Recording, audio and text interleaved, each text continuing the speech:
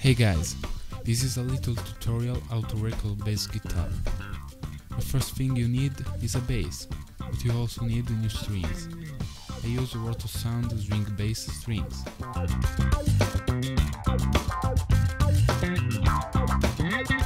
You also need a good amp.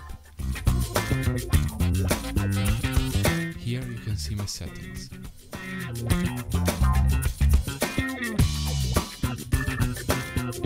First, I plug my bass in a compressor pedal.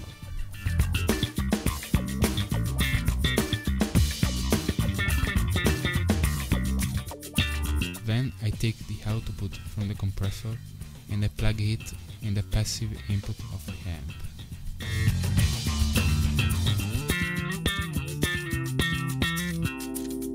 Then I plug in the active input, connecting my amp to the sound card used to record the sound.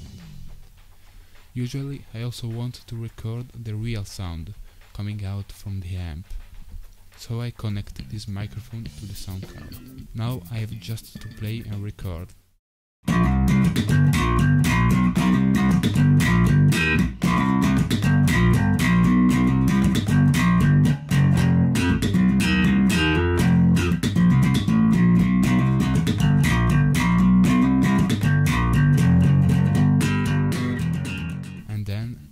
I will mix the two recordings, microphone and active input sound, to get a really good result.